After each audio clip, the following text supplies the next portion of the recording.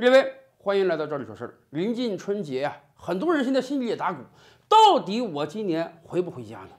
由于疫情的传播啊，现在各地政府都出台了各种各样的政策，国家层面已经明确规定啊，即便你是低风险地区的，你要去别的城市，你也要拿七日之内的核酸检测证明。而且有很多地方政府还层层加码啊，不光你拿证明，你可能来了之后可能要居家监测呀、居家观察呀，甚至居家隔离、强制隔离。没办法，谁让这个病毒它就是这么狡猾的呢？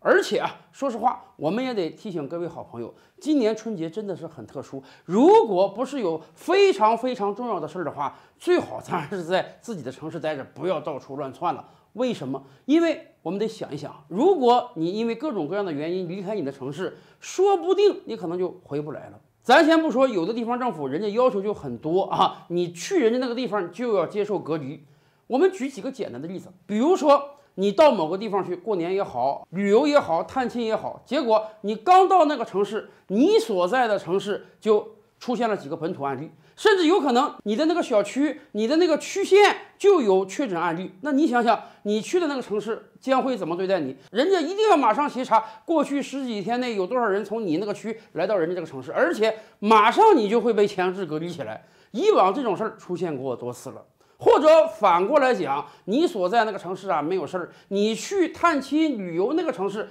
突然出现了几个案例。有可能你所在的地方马上就要被封闭起来，哎，待了十几二十天之后，你被解封了，你再回到你家那个城市，说不定人家也要把你隔离一段时间。没办法，为了把疫情扛过去，已经有很多人做出牺牲了。而且这两天有一个突发事件啊，网上传的小视频，大家很多人都看了。针对这个事儿啊，我们就得提醒大家，你只要出行，就有很多你想不到的意外。前两天有一个航班从三亚飞沈阳。三亚和沈阳今天都是国内低风险地区，所以都是安全的，没有什么问题的。但是呢，很不巧，沈阳当天大雾，飞机降不下去，降不下去怎么办？常规操作呢，是在周边找一个最近的机场迫降，然后换航班或者用大巴车把乘客运回到沈阳。以往经常出现这样的事儿啊，你到沈阳降不下去，你就降到长春嘛，毕竟长春机场离沈阳机场也就一二百公里，不是太远，所以。飞机就按照常规操作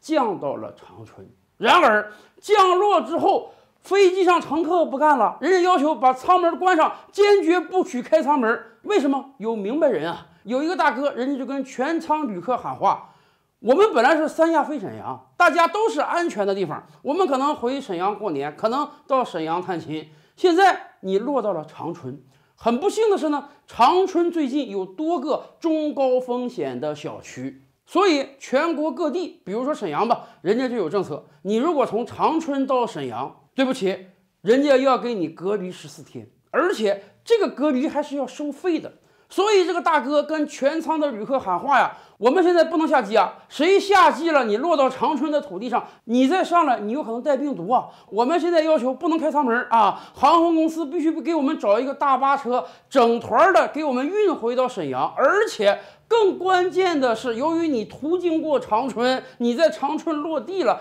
你的行程码有可能要变色。他还希望航空公司啊跟沈阳有关部门协调，跟人解释这个事儿，能不能不把我们整队人进行隔离，或者万一真给隔离了，这个隔离费用你是要自掏的，航空公司要不要赔你这个钱呢？要说这个大哥那真是条理清楚，头脑明白，人家真是很懂今天各地的防疫政策。但是这个事儿讲回来，似乎每一方都没有错。我作为旅客，我买的是三亚到沈阳的票，我是低风险到低风险，我怎么知道会给我迫降到长春来呢？可是对于航空公司来讲，我飞机飞到沈阳上空，大雾下不去啊，那我不能罔顾整机人的生命安全，非要下降啊，我只能备降到长春，这是一个标准的操作，谁都没有错啊。而对于沈阳的疾控部门来讲呢？任何人，你从长春过来，你是来自于中高风险地区的，哎，我本着对全沈阳几百万老百姓负责的态度，我必须得给你强制隔离呀，我不能有防疫缺口啊，